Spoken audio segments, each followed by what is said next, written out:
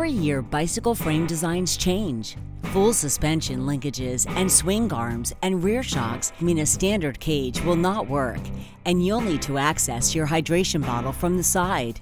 Enter the clutch water bottle cage. Developed in consideration of smaller frame sizes and tolerances, we set out to design a lightweight cage that can accommodate a bottle for just about any frame fitment. Its sleek design takes into consideration the needs of today's mountain bike aficionados. Lightweight and robust carbon construction, the clutch cage will work with bottles with many different shapes and sizes, we developed two completely different cages, one left entry and one right entry, to get your bottle in and out of the cage with the hand you feel most comfortable using.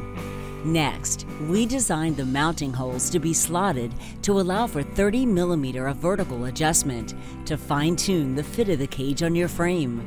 To install, simply use the bolts included with the cage and thread the cage into your frame's bottle mounts using a 3mm hex tool.